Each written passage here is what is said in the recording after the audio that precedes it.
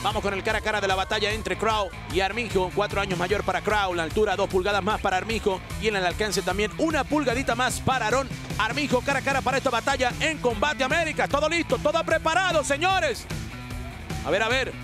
A ver, a ver, que se viene la batalla. Se viene la campana. Usted está listo, usted también, dice Jason Herzog, campana, campanita, vamos con las acciones en peso welter. Armijo anda de negro, de blanco anda Crow. Primeras de cambio, me acompaña Gastón Reino también. Alberto, el patrón. Alberto del Río. ¿Cómo estás? Ya se nos viene una gran pelea con estos dos muchachos que vienen a, a querer impresionar a todas las grandes cabezas de aquí de Combate Américas. En Tajo, como ya lo Oh, dijiste. oh. Gastón, Cuidado Gastón ahora, de lado y lado, ambos peleadores. Mostra- ¡Ay, ay, ay! Mostrando lo Te profesional tengo que son, ¿no? poner de pie. ¡Qué bonita torsión, Gastón! Como del libro de texto, chamacos. Ya lo dijimos, es Ay, ay, ay. American y se nota la diferencia. Por más que fue muy buena def- eh, la, la defensa de Aaron en el, en el primer takedown, él le dicen chain wrestling, un wrestling de cadena. No solamente se La queda en una de- técnica, de que si no, Oh. después sigue con más y más técnicas. Es muy difícil pararlo, es un tipo muy Cuidado, de agresivo. nuevo va ahora, castigando Gastón Reino con esa mano derecha. Esta es la peor posición para Aaron, que está tratando de cubrirse de los golpes. Lo que debería intentar hacer es usar la jaula para pararse.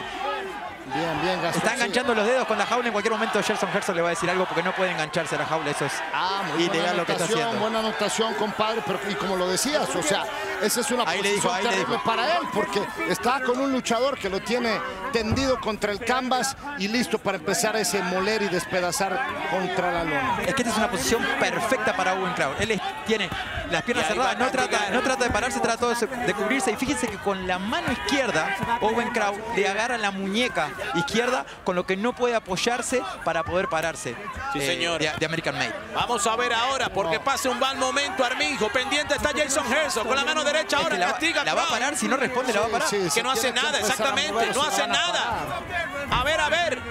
No hace tiene nada. Armijo. No, es una muy buena, es una muy buena posición. Y queda mucho La tiempo y él va a seguir pegando. Si es por él, le pega hasta mañana, ¿eh? Claro. Buscando también castigar con los golpes de martillo ahora. Crow le quita esa mano derecha para que no se siga cubriendo allí.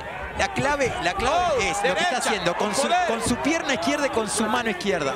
Le tiene todo el lado izquierdo atrapado al American Made, que no lo deja pararse y lo castiga con su mano Pegaditos, derecha. pegaditos a la caula, los tenemos aquí pegaditos a la mesa de transmisión, buscando quitarle ese brazo ahora. Crow, la mano derecha, de nuevo castigando a su rival, le advierte Jason Herzog, tiene que defenderse, tiene que hacer algo. Ahí está de nuevo la metralleta de golpe, ya es todo, señores, es todo por la vía del knockout, cao, cao, la victoria para Owen Crow.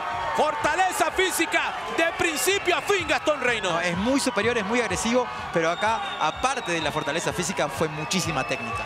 Su técnica de lucha, su técnica para inmovilizarlo y para castigarlo con mucha paciencia hasta que Era. Jason Herzog paró la Y pelea. al final queda de ver a Aroan Armijo porque cuando fue al piso nunca supo qué hacer. Él lo único que hizo fue defender un takedown, pero no es lo mismo cuando vos entrenás con un luchador capaz que te, te chutea una vez para poder tirarte que un Owen Crow que trata con una, dos, tres y no para. Él es un perro agresivo que va hasta finalizarte. Cuando lo tuvo en el piso, fue con paciencia, lo atacó, lo atacó y no le quedó otra a Jason Herzog que parar la pelea.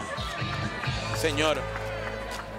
Bueno, señores, Owen Crow ahora mejorando su récord a cuatro victorias sin derrotas. Esas cuatro o tres victorias por la vía del knockout, cómo arrancaba todo. Habíamos defiende el primero, y- pero ya Qué gran se notaba. Sí, ya, ya cuando lo engancha, miren lo que es esta, esta torsión. De libro de texto. Fue espectacular.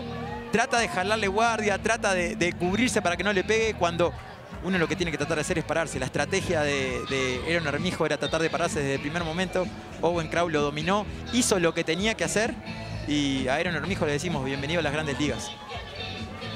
Así es, Armijo no pudo hoy contra un Owen Crow que supo cómo finalizar, que castigó con poder, que celebraban con su público porque es de Carson City, pegadito a Ley Taco, bueno, al estilo Jean-Claude Van Damme, ¿no? Yo diría John Travolta. sí, ¿no? O bailaba o hacía qué. Así que bueno, hay que oficializar la victoria de Owen Crow y para ello vamos directamente con Lupe Contreras. Damas y caballeros, una serie de golpes sin respuesta obliga al referee Jason Herzog a parar la contienda con un tiempo oficial de 2 minutos 33 segundos del asalto inicial. Ladies and gentlemen, a series of unanswered blows forces referee Jason Herzog to step in and stop the contest with an official time of 2 minutes 33 seconds of the opening stanza, declaring the winner.